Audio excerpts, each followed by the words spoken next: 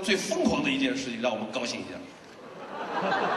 这孟老师，你有职业病吧？你这真的，我我落下这病根了，就爱打听这个。你这，你这什么节目啊？现在是？呃，我到哪儿都打听这种事儿。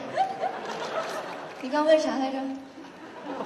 好吧，我再再说一遍啊，就是在学生时代的时候，追你的这些男生当中，你还能记得的最疯狂的一件事儿，到现在都记得的。啊，当然不用说名字啊。我记得小的时候，那时候还什么真不懂的。我觉得在小学以前的事儿就别说了。那还真是小学以前的事儿。我学到的第一个就是刻骨铭心的一个成语，叫做“爱屋及乌”。是我们家楼上四楼的一个小男孩儿，因为我喜欢看那个。我想知道，首先知道你几岁那会儿？我上小学，所以你你不理解吗？我知道这也叫姐弟恋，对吧？他上小学那孩子，他追她那男朋友才四岁。您继您继续说。我我我我们家在一楼，他们家在四楼。然后呢，有一天我就收到一本书，他知道我就是下课喜欢一些课外读物什么的。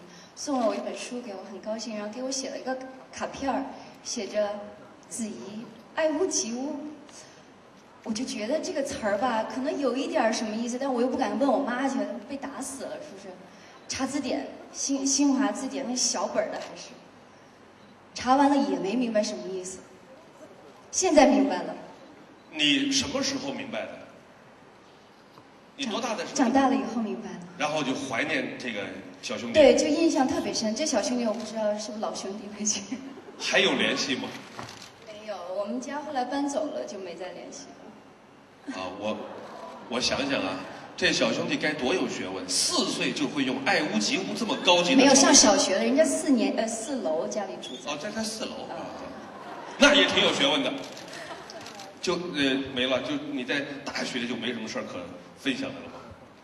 大学还真没有，因为我们在学校老师那时候，我们学校的这个校风还有我们老师带的都说不允许班里同学谈恋爱，因为你一旦谈恋爱了，就是男生，比如说我跟孟非好了，哎，特别好这样，特别有眼光。然后呢，其他同学呢，比如说想找我做小品、拍作业，人家男生就不来找我了，说这孟非的姐们儿就算了。什么叫孟非的姐们儿？好姐妹啊，意思我明白了。所以大学就后来我二年级、三年级就一直出去拍戏，对，也就没什么机会了。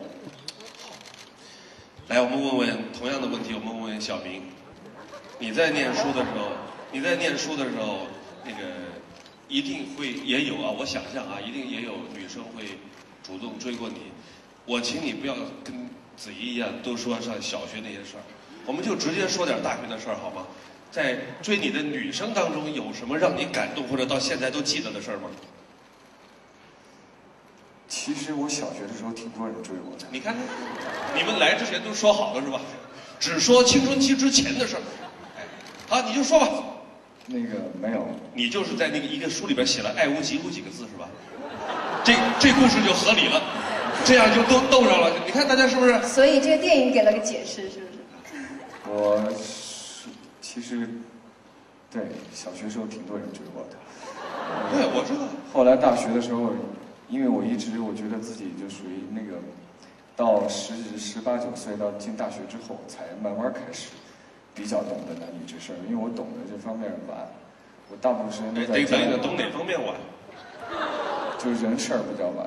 啊，我我懂这个意思。就你主持那档节目那种事儿比较晚。哎呀，就直说嘛，就是男女关系那点事儿，没什么。对，男女关系那种事儿比较晚。然后那会儿呢，也是喜欢别人的时候，就是那种，就是甘愿默默在那等，然后可以一等等几个小时，都站在那儿不动的那种。然后也愿意去为了喜欢一个人，然后偷偷的跟他走一走，就走很远很远的路，走很长很长时间，然后就是很傻那会觉得自己。可是觉得很幸福，心里觉得很幸福。